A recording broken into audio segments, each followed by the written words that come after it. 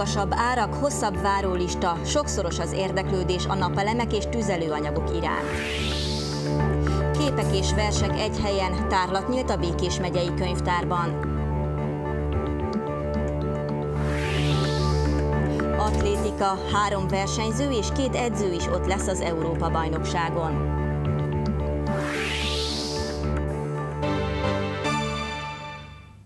Jó estét kívánok! Önök a 7.tv híradóját látják.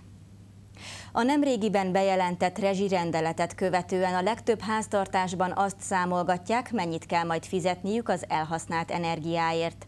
Sokan a spórolás mellett döntenek annak érdekében, hogy az átlag alatt maradjon a gáz és áramfogyasztás, míg vannak olyanok is, akik alternatív lehetőségeket keresnek. Ebben szoktam a teát forralni, két bögre teja van benne. Néhány hete még gondolkodás nélkül gyújtotta be a tűzhelyet, vagy kapcsolta fel a világítást. Viciánné Evani Csirén. Mint mondta, nincs megijedve az emelkedő energiaáraktól, mert nem lépi túl az átlagfogyasztást, de ezen túl jobban fog takarékoskodni. Hát kell spórolni. Nagyon kell spórolni. Én nem szeretek sötétbe tévét nézni. Föl szoktam kapcsolni a villanyt ezentúl le fogom kapcsolni. Vagy pedig eh, kihúzom a konnektorból azokat az elektromos dolgokat, amik fogyasszák az áramot. Ezzel tudok csak spórolni, semmi mással. Hozzátette, hogy a lakásában néhány éve korszerű a fűtésrendszer, ezért az gazdaságosan üzemel, azonban kiemelte, hogy 20 foknál sosem fűti melegebbre otthonát. Sokan keresnek energiahatékony megoldást a téli fűtési szezonra. Az egyik helyi napelemek beüzemelésével foglalkozó vállalkozás ügyvezető igazgatója elmondta, hogy az elmúlt időszakban meg sokszorozódott az érdeklődők száma, és sokan azonnal a vásárlás mellett döntenek. Trényi Péter hozzátette azonban, hogy az ország beszerzési forrásai nincsenek felkészülve arra, hogy azonnal kiszolgálják a megnövekedett igényeket. Ami számunkra egy picit megdöbbentő, hogy amikor elmondunk egy-egy rendszerárat, ami itt azért sok millió forintokról beszélünk, attól függ, milyen rendszerek, okos rendszerek, hagyományos rendszerek, optimalizált rendszerek, hibrid rendszerek, ki mire tud készülni, vagy kinek milyen anyagi forrásai vannak. Akár azt mondom, hogy 4-5 millió forintos megrendelés esetén is itt helyben szeretnének fizetni. Hozzátette, hogy a nagyfokú érdeklődés miatt egyre hosszabb a kivitelezési várólista. Jelenleg minimum két hónapot kell várni, de a beszerzési források függvényében akár három-négy hónapba is telhet egy most megrendelt rendszer telepítése. Hasonló a helyzet a tüzépeken is.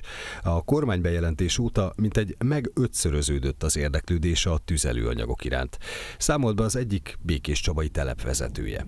A legtöbb helyen a vásárlók azonnal elviszik a fűtőanyagot, amint az megérkezik. A tűzifára az ilyen ö, egy hónapos ö, előjegyzéseink vannak, ö, körülbelül egy hónapra tudunk ö, fát szerezni. A korábbi napi egy-két kamiont, amit fel tudtunk dolgozni, az visszaesett a beszerzés területén heti egyre. Erdélyben nagyon sok cég lett kint hirtelen, aki fát vesz, és nem tudják kiszolgálni a magyar partnereket. A magyar erdőgazdaságok azok meg az idénre már nem is nagyon tudnak fölvenni fa megrendelést, a tüzépvezető hozzátette, hogy a fekete kőszén beszerzése nagyon bizonytalan. Barna kőszénből azonban van elérhető készlet. A hosszabb előjegyzési idő és a szűkösebb mennyiség mellett magasabb árakkal is számolni kell, amelyek a tűzifa és a barna kőszén esetében 20-30%-kal, a fekete kőszén esetében pedig még ennél is nagyobb mértékben emelkedtek. Pénteken hivatalosan is megnyílt a Járai Julianna festményeiből és Kozák Mari az alkotásokhoz kapcsolódó verseiből összeállított tárlata a Békés megyei könyvtárban. A kiállítást szeptember másodikáig láthatják az érdeklődők. A két alkotó régóta ismeri egymást, de most a művészet szintjén is egymásra találtak. A közös munka kezdetén Kozák Mari írt egy verset Járai Julianna a Bihar keresztesi templomot ábrázoló festményéhez, ami plusz töltést adott az alkotásnak és a festőnek. Ezután pedig újabb és újabb versek, illetve képek születtek.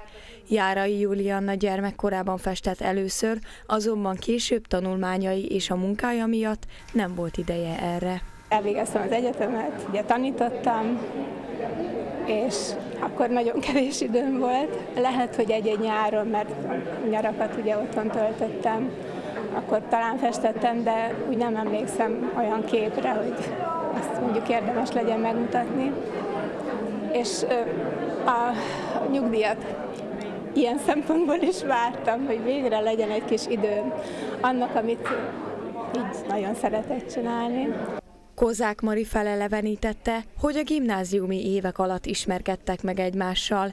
Ezután a festő Békés Csabára jött tanítani, ő pedig maradt Pihar keresztesen szintén tanárként. Évekkel később, amikor Járai Julianna ismét festeni kezdett, akkor alakult szorosabb kapocs közöttük. Éreztem, hogy írnom kell ahhoz a képhez. Hát igazából már azért írok én olyan jó 15 éve biztos, ami már, ami már olyan komolyabb és normálisabb. És akkor jöttek, mentek a képek egyik a másik után, és akkor mindig éreztem, hogy az egyikhez verset, a másikot prózát kell írni. Na most ez egyértelmű, hogy egyre szorosabb lett köztünk a, a kapocs. Úgy gondolom, hogy ez, ez természetes is, meg ez marad is. Ez marad is így. Azért vannak a kiállítás megnyitót Szák Kocsis Péter az Azért vannak a jó barátok című dal előadásával színesítette. Nem véletlenül, hiszen a tárlatot a két művész barátai szervezték meg a könyvtárba. Az intézmény igazgatója elmondta, hogy mindig nagy öröm számukra, ha kiállításnak adhatnak helyet. A Békés megyei könyvtárnak olyan igazgatója volt, az éppen száz éve született Lipták Pál, aki nem csak könyvtárigazgató volt, hanem festőművész is. Neki köszönhetjük, hogy ez az épület olyan adottságokkal rendelkezik, hogy tágas kiállítótér van, hogy a természetes fény nagyon megfelelő arra, hogy kiállításokat szervezünk. A kiállításon felelevenednek gyermekkori emlékek, detaljképek és portrék is láthatók, amelyek alatt az adott festményekhez írott vers vagy próza olvasható. A tárlat szeptember másodikáig tekinthető meg a Békés megyei könyvtár aulájában. A korábbinál jóval tetszetősebb és az állatok számára kényelmesebb létesítmény kapott helyet nemrég a Réhelyi tanösvény végállomásán. Az állatsimogató három egymástól elkülönített részből áll, ahol törpekecskéket és egy törpebika családot simogathatnak a látogatók.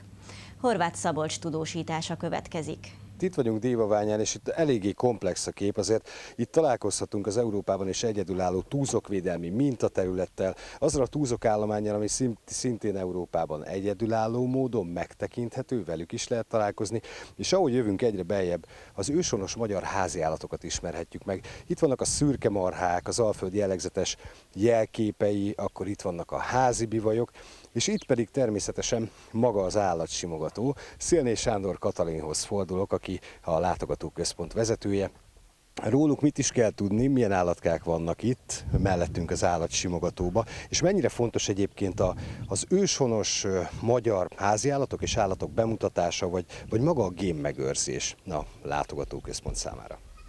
Itt vagyunk a Körösmaros Nemzeti Park Sterbez István Túzokvédelmi Látogató Központjában, és ahogy említetted is, a túzok mellett a magyar régi ősi házállatfajokból és fajtákból is van egy kis ízelítő, meg tudjuk tekinteni. Az ideérkezők megismerkedhetnek ezzel a, ezekkel az állatfajokkal, fajtákkal, amelyek egykoron ugye jellemzőek voltak itt a térségre. Ma már ugye az erőgépek nagy része kiszorította őket. A magyar szürke szarvasmarha és a bivaj, ami elsődlegesen a nagyobb testű állatok közé tartozik. A itteni legelésben, a területek hasznosításában játszik nagyon fontos szerepet. Ezeknek a kicsinyei, az itt látható kis állatkák, a törpejú, a törpe kis kecskék, ugye ez szülőstül, családostól, aztán a, a racka és a cigálya juh, ez a két ősi juhfajta, és ezek kicsinyei láthatók itt a látogató részben elsődlegesen. Törpe kisebb méretű bivajaink is vannak, amelyek itt láthatók az állatsimogatóban. Aztán nagyon fontos számunkra az, hogy a nevelésbe is bevonjuk, hiszen az ide érkező látogatók nem látnak ilyen állatokat, és ezeket a környezeti nevelésben, a bemutatásban elsődlegesen ö, ö, használhatók, vagy hát használjuk őket.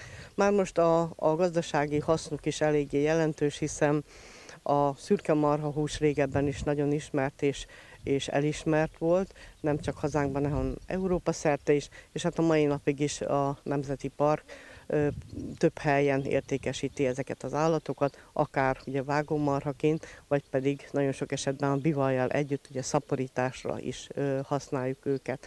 A racka és a cigályajú elsődlegesen szintén a génnek a megőrzése szempontjából, ennek a fajnak a fennmaradása szempontjából van itt nálunk. A Nemzeti Parknak nagyobb telepe, szaporító telepe Orosházat térségében, Kaldoskút közelében van, ott nagyobb mennyiségben találkozhatunk ezekkel az állatokkal, és hát igazság szerint a a fennmaradásuk egyrészt a nemzeti parkoknak fontos feladata, fő feladata is, tehát mindenképpen ezeknek a feladatoknak is meg kell, hogy feleljünk. Aki eljön ide, ellátogat ide, nem csak ezeket az őshonos magyar háziállatokat, hanem ahogyan hallottuk, a teljesen egyedülálló túzokállományt is megismerheti, találkozhat vele, végignézheti a múzeumot, és a réhelyi tanösvényt is végigjárhatja természetesen túravezetővel, gyalog vagy éppen biciklivel, kinek szíve joga. Köszönjük Szabolcsnak!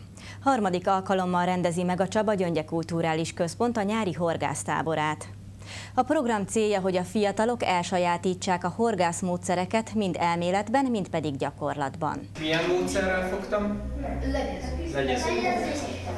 Balázs Viktor táborvezető éppen a halfajtákról tart előadást a fiataloknak a horgásztábor hétfői foglalkozásán. A programra jelentkezők délelőttönként elméleti órákon vehetnek részt, amelyeken többek között a horgászmódszerekről beszélgetnek. Hát én azért szeretek horgászni, mert ott ugyebár azt csinálsz, amit szeretnél, jó időtöltés, és van egy kis sikerélmény is benne. Nagy részt ő, a családommal szoktam tatával, vagy apukámmal. De jó. A fiatalok délutánonként az élővíz csatorna partján hasznosíthatják gyakorlatban az elméleti órákon elsajátított tudást. Balázs Viktor elmondta, hogy idén harmadik alkalommal hívták életre a programot, ezúttal is a 8 és 12 év közötti fiatalok jelentkezését várták. Leginkább nem kezdő horgászokat várunk a táborba, hanem akik már azért egy-két éve horgásznak, és az ő tudásukat szeretnénk egy kicsit bővíteni ezzel. És hogy miért fontos a horgászat? Hát szerintem a mai modern világban nagyon jó kimozdulni így a természetbe, a digitális világból, egy kicsit szívni egy kis friss levegőt, és kint lenni, kikapcsolódni, szórakozni, pihenni, ez a horgászat szerintem. A táborvezető hozzátette, hogy a tábor utolsó, azaz pénteki napján egy házi horgászversennyel zárják a programot. Három versenyzője és két edzője képviseli a KOP Békés Csabai Atlétikai Klubot a Müncheni Európa-bajnokságon. A kontinens viadal jövő héten kezdődik. A Békés Csabai edzők közül Eperjesi Károly mellett a klub ügyvezető igazgatója Tóth Sándor utazik majd a Müncheni EB csapattal. A szakvezető hangsúlyozta, versenyzőik külön helyszíneken, edzőtáborokban tréningeztek a kontinens viadalra. A mesteredző kiemelte, hogy gyaloglójának, Olá Barbarának a felkészülését egy betegség hátrált adta. Csorbatónál edzőtáboroztunk, és hát meg kellett szakítanunk az ő gyengesége miatt, tehát ez felkészülés közben egy óriási gond, probléma. Hazakértem, mert én már előbb hazajöttem onnan, hazakértem, hogy jöjjön haza, hazajött elő, négy nappal előtte is, a tábor vége előtt is megpróbálunk most mindenképpen arra koncentrálni, hogy ő, ő, ő legalább elérje a tavaszi formáját. Olá Barbara augusztus 20-án versenyez majd az Európa bajnokságon, ahol szeretne majd közel kerülni az eddigi egyéni csúcsához. Tavasszal az első 20 kilométeres versenyemen, amit itt Békés Csabán rendeztek, sikerült teljesítenem a kijutási szintet, és igazából itt az első versenyem már megvolt, így tudtunk tovább készülni, és nem kellett többet versenyeznem. Steiger volt Ernő a váltó csapattagja lesz az Európa-bajnokságon.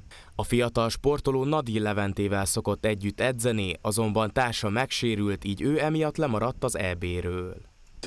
Előtte volt egy szerintem egészen jó felkészülésem, és ennek is köszönhető ez az egész.